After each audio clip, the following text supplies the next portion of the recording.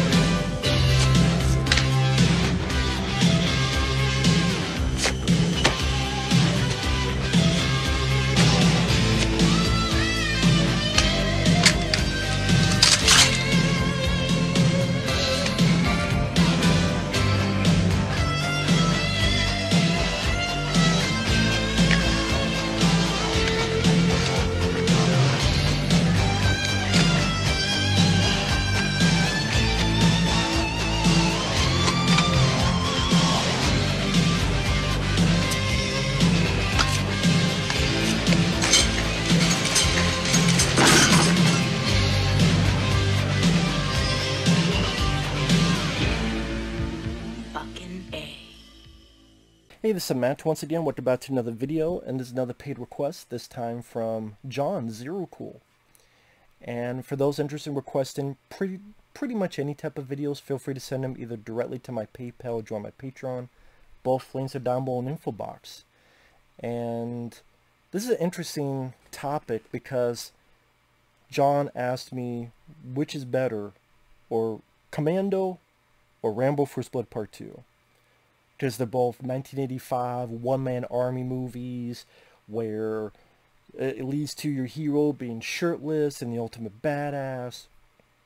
Number one, I know most people will choose Commando, and I can understand that because it's more straightforward, you fun movie, the one-liners. And let me get this straight. I love Commando. No matter what I say in this video, I love Commando. I love the one-liners. It's fun. It's entertaining. It's one of my favorite Arnold films, up there with you know, Predator. Put the knife in me, you know. Remember, so I promised I'll kill you last? I lied. I eat green berets for breakfast.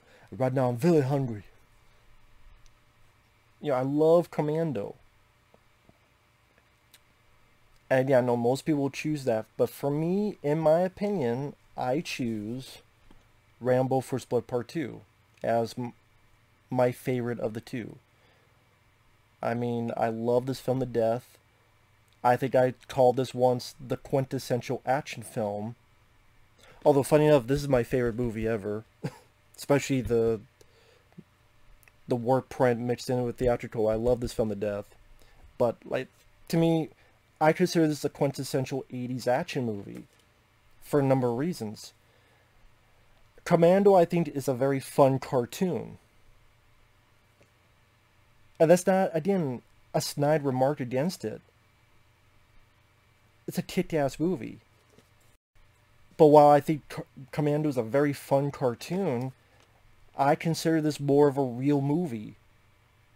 As weird as that sounds to people. It's still over the top. It's still not realistic, but I this feels more like a real movie compared comparing the two because I feel a bit emotion with this film. Like Commando, it's fun and you laugh and smiles. I, I feel a bit of emotion in this because some people complain about the politics or whatever Stallone puts into it. I actually prefer it. I actually really like it because when you have this type of film, to me, I get drawn even more. Commando is a film that will wink at you, while Rambo 2 doesn't do that. And I which do you prefer? I prefer, and I love Commando for doing that, but Rambo 2, I prefer it taking itself seriously no matter how, yes, outrageous Rambo goes back and wins Vietnam. Vietnam War Part 2, Rambo wins it, but how serious it takes itself, I find that endearing. And I wish more films would do that. And I think there's some really good moments, like when Ko dies, and he's sad about that. And I feel for Rambo. And when it gets to that moment where he's buried Ko, and it's the rain, and there's the mud, and he goes for his crossbow, and he rises up, I feel that emotion that I just, I don't feel in Commando. I'm not saying Commando needed that. To me, it works because it's its own film. And yeah, I think it works well. You can watch them both back to back and it still becomes their own movies. But moments like that with Rambo rising up and the, the rain and the mud and even the speech he gives at the end with Richard Crenna, I like that speech. I don't live, John, day by day.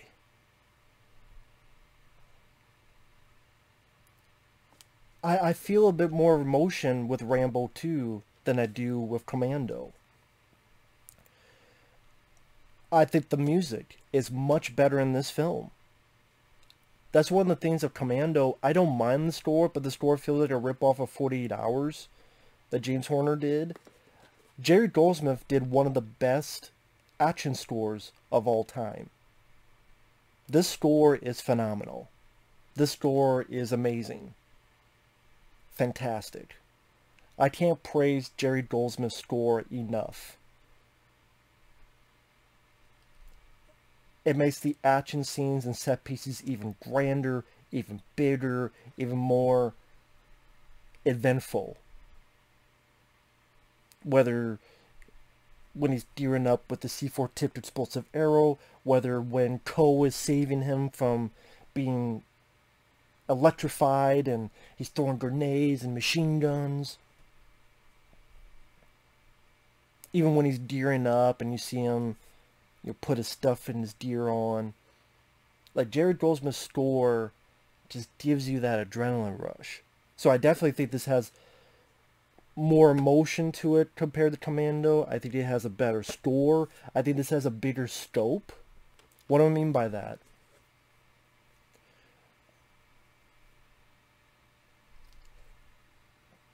Because of the variety of action it has, where you're able to have the scene on the boat, and the boat is being shot up to shit, and he's maneuvering, and he gets the rocket launcher, and the other boat explodes and he's hanging for dear life someone's choking him and he stabs him and he jumps out as it explodes. You have that set piece. He gets a fucking helicopter and blows the shit out of an entire fucking bad guy village. And you have that variety of action, which you don't have in Commando. Commando, it's punch, kill, punch, crack his neck, punch, shoot.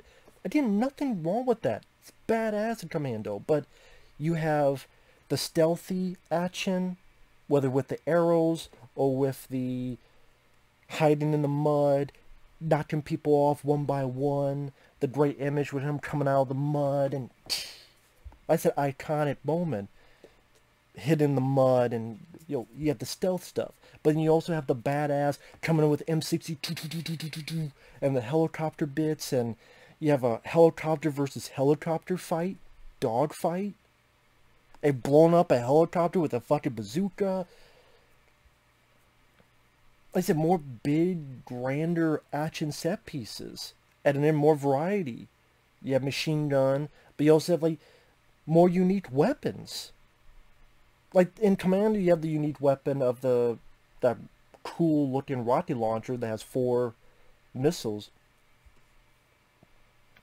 But here, that C4 tipped explosive arrow to me is one of the coolest, most unique weapons in action film history.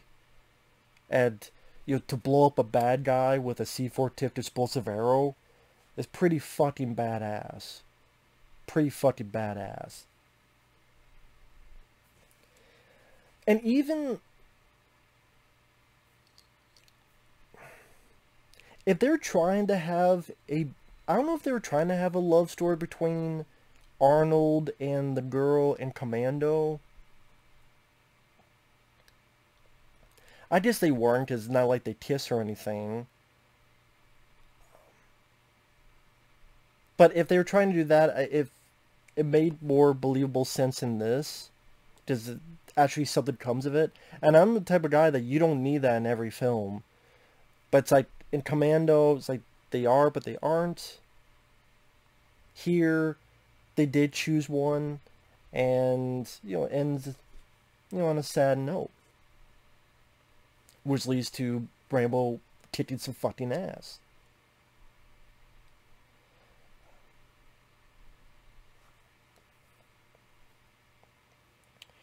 Both have good supporting casts. Like this has Charles Napier, uh, Steven Berkoff as your villain, uh, Richard Crenna, and Commando. You got Bill Duke. You got oh, what's his name? He was in the Road Warrior. Can't believe I forgot his name.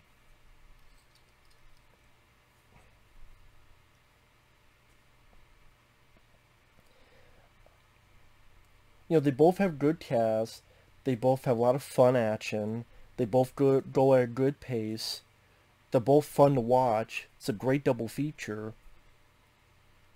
But again, for me,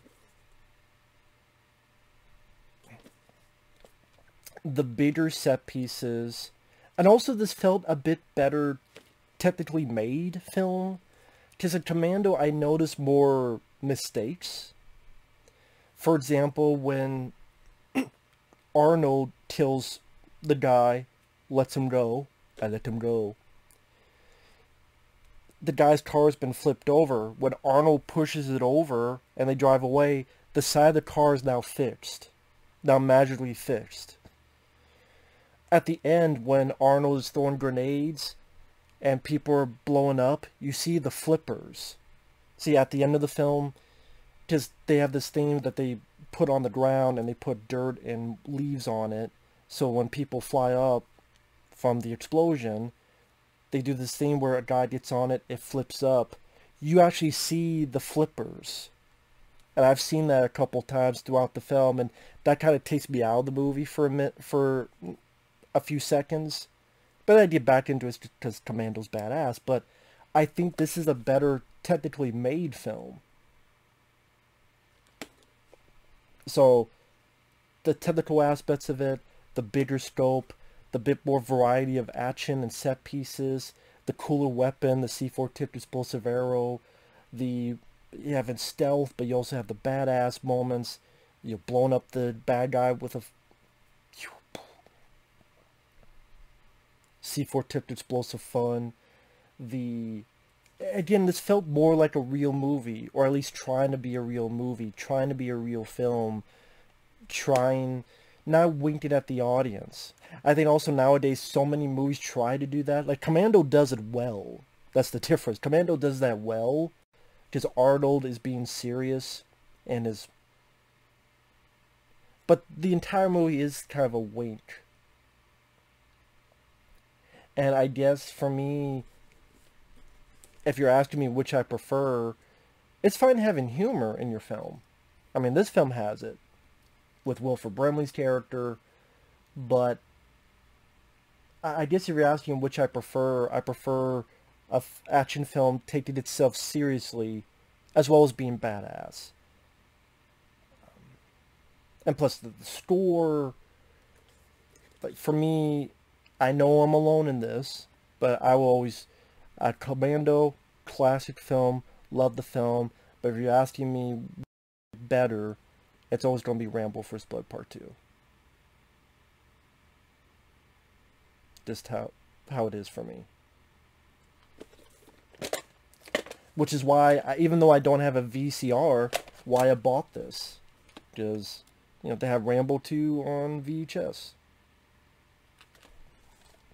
One of my all-time favorite films to me I consider this the quintessential action film of the 1980s.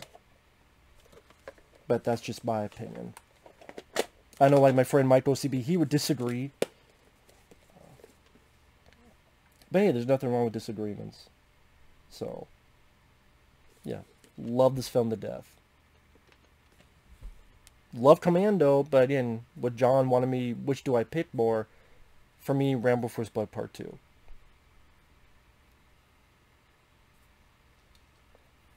You know, I, I like both songs at the end. I think they work for what movie they're they're making. For what movie they're, you know, the song of Commando or this. I think they work for their subject matter. So yeah. I don't know what else to say other than thanks for watching. Take care. And we will see you guys later. Bye-bye.